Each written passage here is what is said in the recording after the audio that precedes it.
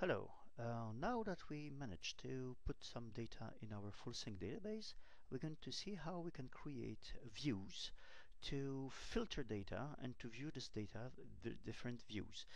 Uh, views are based on a very common Couch uh, DB concept based on NoSQL, and we're going to see how we can create views in the Convertigo. So to do this, uh, we have our project and we go to the connector and we have our FullSync uh, connector here.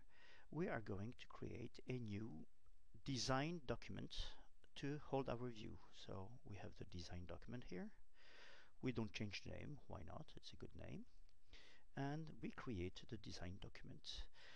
Views are created in a design document. So to do this, right click on the design document and we're going to create a new view. This view is automatically created as view. So we can rename the view to another view. So right click and we can rename it. And we are going to call this view, for example, by titles.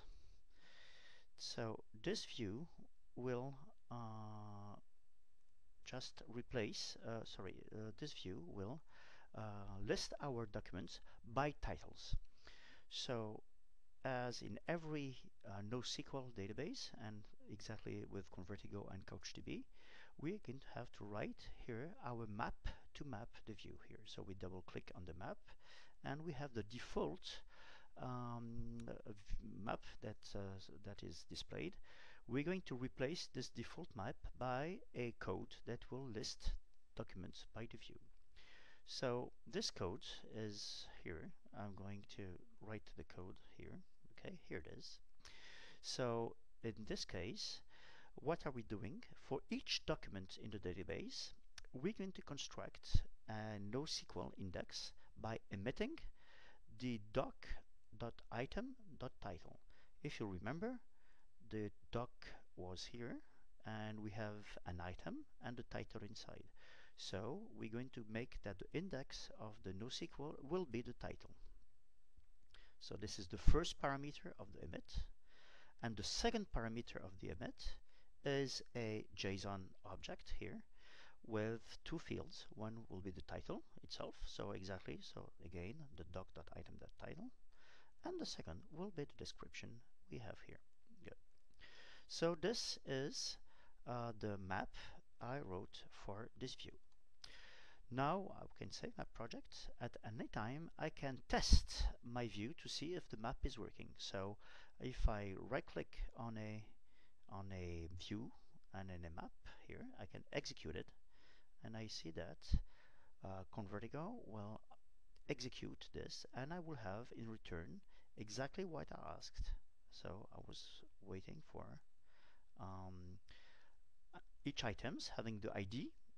So the ID is the unique ID. If you remember, we were using the URL as unique ID. So here it is. And we have the key that is here. So the key is the title. And to have the description, the title here. Okay. And here another one. Okay. So this is the way we can create a view on our uh, on our system here just by, by writing a uh, view and in JavaScript. So if you have more want more information about views, you can get this from the CouchDB documentation, and this is completely uh, standard. Uh, Convertigo makes you very easy to create the views and to and to test the views directly from the Convertigo studios. In the next video, we're going to see how we can use these views and synchronize the data on the mobile side. Thank you.